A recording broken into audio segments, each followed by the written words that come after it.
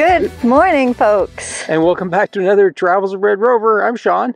And I'm Corinne. And where are we on this beautiful morning? We're in Northern Ireland in a place called Antrim County, which is a beautiful county that's on the northeast coast of Northern Ireland. And specifically, what are we visiting here today? Well, we're hoping to do the uh, hedges or the dark hedges and uh, hopefully those are actually just right in front of us behind the camera. Uh, and uh, uh it's not really a great light day for it, but uh, we're going to do a little exploratory. May have to come back again and shoot them again when the light's a little better. Yeah, when we have the weather that's as unpredictable as it is, we're going to take a few shots, uh, do the best we can under these conditions, but hope we can get better conditions later. Okay, let's. The walk out to the hedges is not uh, terribly long. It uh, starts at this beautiful old house. There's a parking lot just in the background there. And as we walk out, you uh, start entering the trees along a lane, and the trees kind of expand out from there. A lot of the trees have been removed over the years, so you have to choose your shots carefully.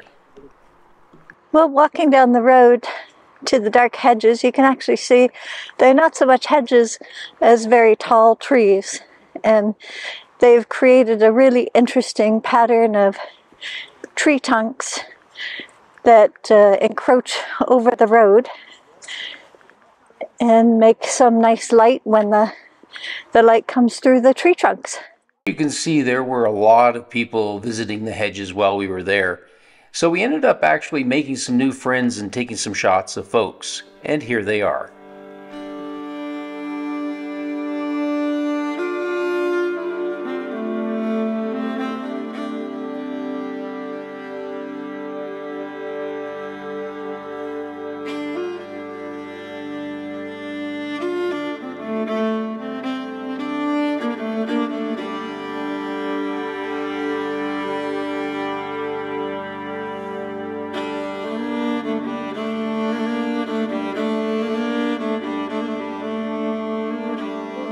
So we've been doing some experimenting this morning uh, and uh, making some new friends as uh, we were just uh, trying some various shots at uh, the hedges, right? The dark, dark hedges. hedges. Yes. And uh, probably a good warning for what it was. Yeah, so we thought we would take some shots, see what we could get. They're probably very decent, I think, based on what I saw in the back of the camera.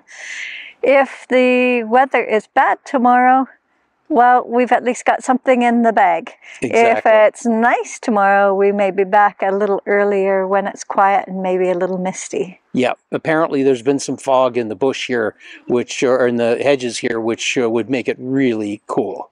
So we're going to try again tomorrow, and we'll let you know how it makes out. And here are the shots from day one. To much to our surprise, these turned out much better than we expected. We sure hope you enjoy them.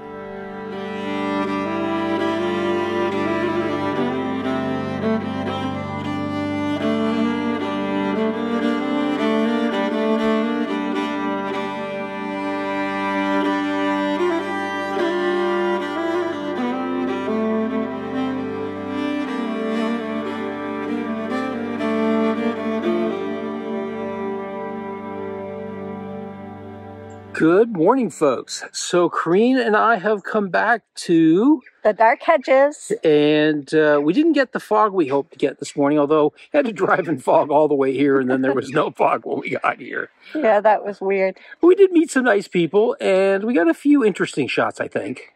Yeah, uh, we got a variety of light. So sometimes it was kind of gloomy, the sun behind a cloud, not much uh, direct light, just indirect light. And then the sun came out from behind the cloud, and we kind of tried to get a misty effect with it. Yeah, and I, uh, it really, you really have to, if you do come here to do some photography, bring at least a 70 to 200 millimeter lens. You really do need it to compress the trees to really get that real nice ethereal uh, look to it. Even more than 200 would work. Yeah. And we found that uh, probably the uh, end of the lane that is closest to the manor house and looking uphill was maybe a little better than being at the top of the hill and looking down. So Yeah. we've got a little of both, and we'll show you those, or we've showed you those already. you can compare them. Um, anything else? No, no, and take care. And until next time, bye for now. And here are the shots from day two. Because we had some really nice shots from day one, we were able to do a little bit more experimenting in day two. And we sure hope you enjoy these.